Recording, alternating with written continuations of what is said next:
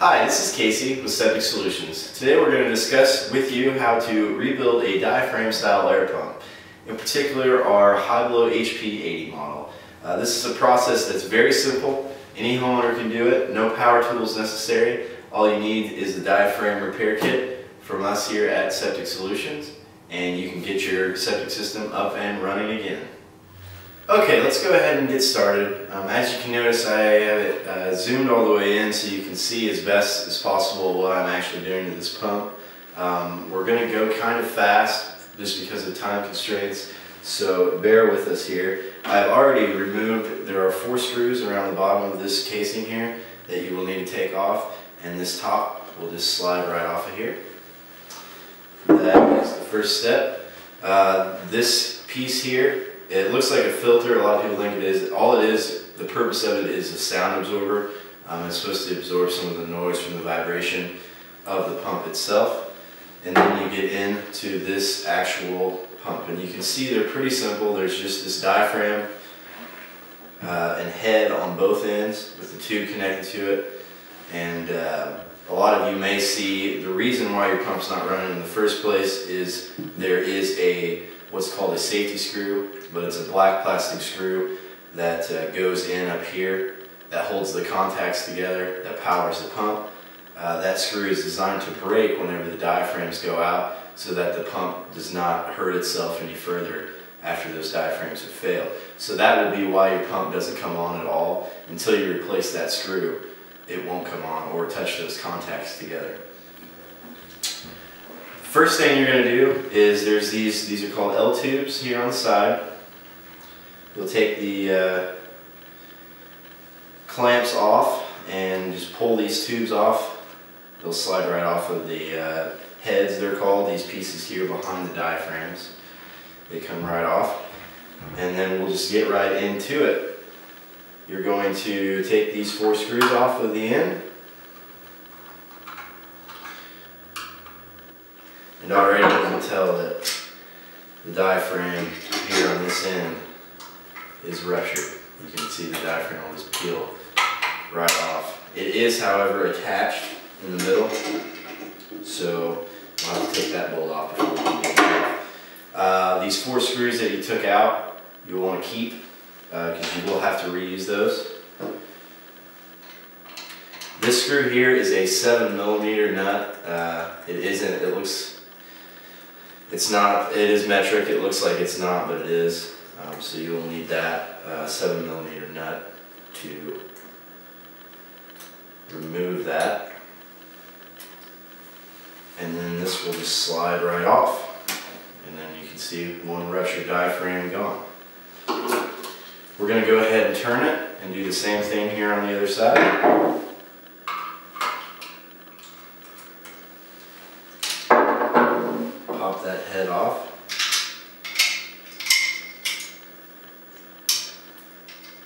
Screws again, you're going to want to save all of these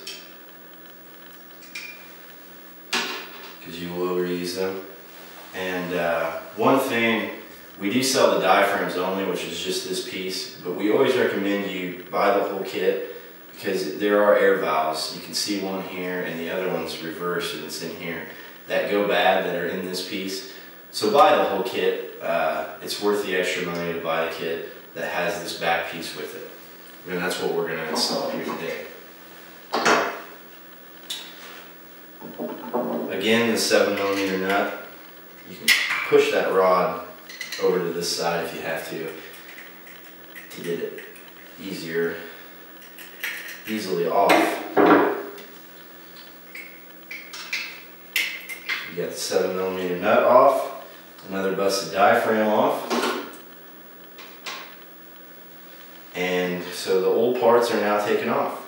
Uh, you can pull this rod out, you'll want to look at it. This is what we call a magnetic rod block that's attached to the diaphragms. It's the only part that moves. It vibrates back and forth here in the pump itself. So um, you want to check to make sure that it's not cracked or broken in any way because if it is and you put any diaphragms in it, the diaphragms will just rupture again.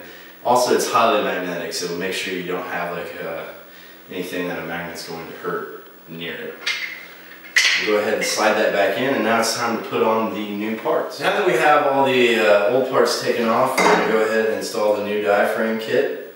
Uh, the diaphragm goes on only one way. Um, there's slots that it lines up and slots that connect it to the actual rod block that's in the middle.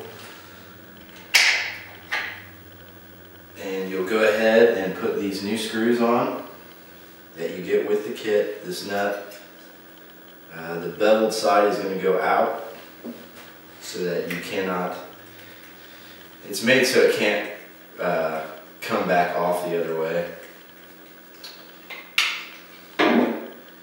Okay, now that that side is on, you'll go ahead and put on the other side. Push that over.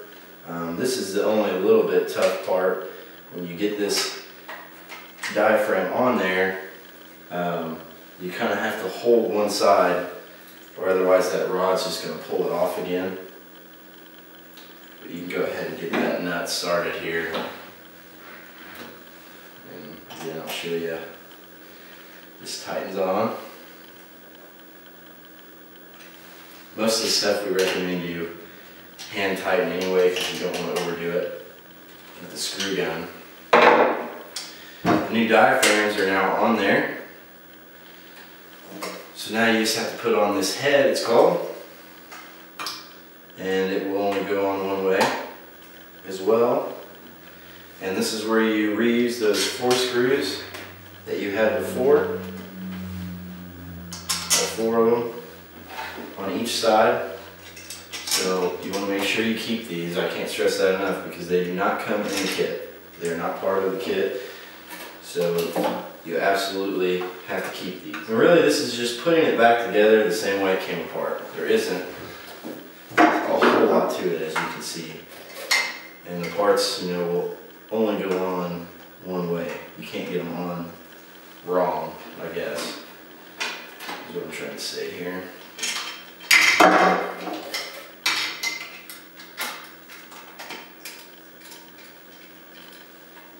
And again, we're going through this kind of quick.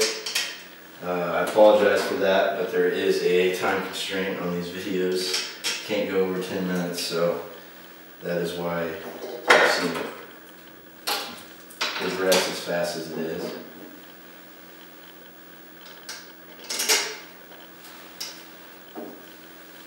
Okay, now that those are on and tightened down, you can put the these L tubes, attach those back on. Just kind of twist the bottom of them back around. Clamp on. Same thing over here on this side. Clamp on. Go ahead and put this original piece, this sound absorber, back on. This part's kind of tight. Sometimes you have to struggle with it, but it will go on there. Okay, and last thing you have to do is install this safety screw. Uh, I've already put this one in, but basically the screw will just slide through. You'll line up the, the holes, slide it through and tighten the nut on this other side. And this part should be ready to go. We'll go ahead and put the top on. Tighten down the screws. Okay, we got the top on now and the four screws back in place. The last thing that comes with the kit is the air filter, which is right under this lid. Um, we recommend that you have to replace the air filter once a year. You need to clean it every six months. Uh, it just sits right in that top there, and the top will screw right on.